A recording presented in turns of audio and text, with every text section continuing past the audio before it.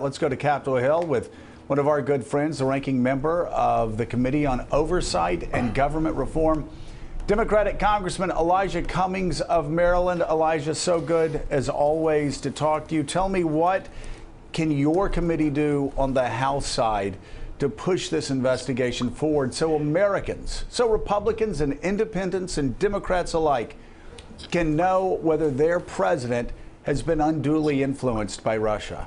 Well, clearly, we are in a crisis of confidence, no doubt about it. And what we can do, Joe, is to bring in uh, Rosenstein, the, the deputy, uh, Sessions, and certainly uh, Comey to try to figure out exactly what happened with regard to this firing.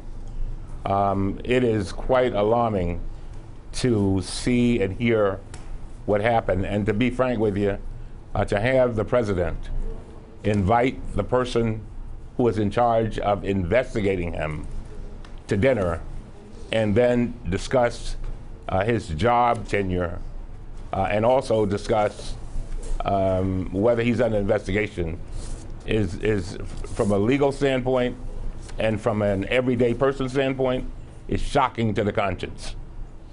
Congressman And Cummings, so we've got to address that. uh, Congressman Cummings, it's, it's Willie. Who's the one person you'd like to have sit before your committee and, and ask questions who's not so far been willing to come and talk to you all? In other words, who do you think holds the key to this question of the relationship between the Trump campaign and Russia?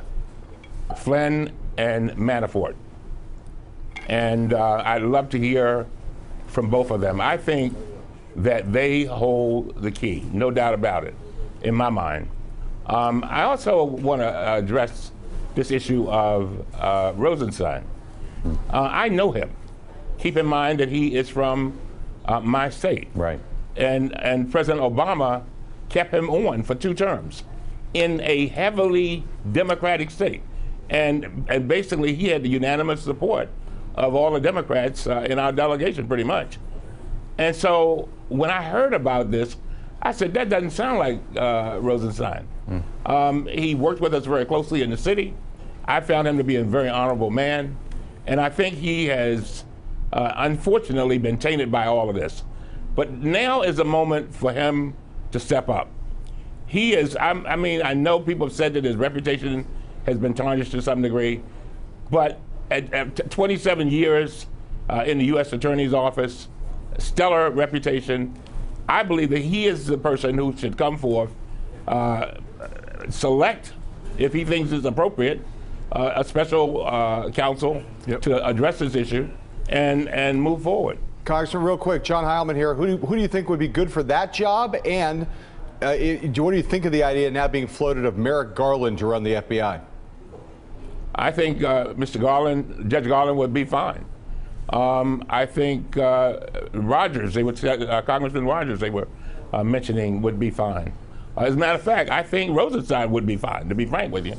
Um, but we need, we have to have people like that who will, will, will do what is right by the American people. We have got to move forward with this. And, and keep in mind, the Republicans, and, and, and I, don't, I want you all to be clear. And Joe, I've listened to you, and you've been absolutely right. The Republicans have to work with the Democrats to put country first. I mean, we cannot even get any cooperation.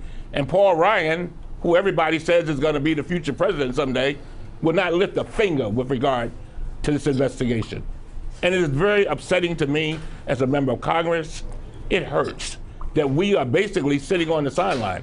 And I know Adam Schiff is doing the best he can with the uh, Intelligence Committee, but but Ryan needs to to stop uh, helping to be an aider and abettor of uh, President Trump and be a supporter of the United States of America. I want to pass on a democracy to my children and my children's children that is intact.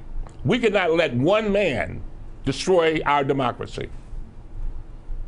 Elijah, uh, I, I, I share your disappointment with so many Republicans that right now just are not stepping up and choosing country over party. They're just not doing that, and they need to. Elijah, thank you so much for being with us.